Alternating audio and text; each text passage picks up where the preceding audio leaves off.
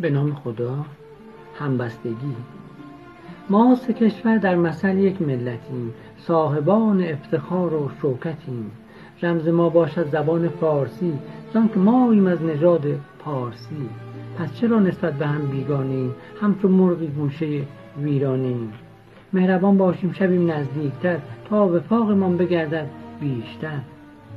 کو بادا چشم شور دشمنان دور باد اندیشه کینه وران. پس نگوییم تاجیک و افغانیان آن دگرها جملگی ایرانیاند. ما سه کشور جملگی یک ملتیم. ما نه معلولیم که خود یک علتیم. نام ایران شهریان بر ما سزد دانش و مردانگی از ما خزد.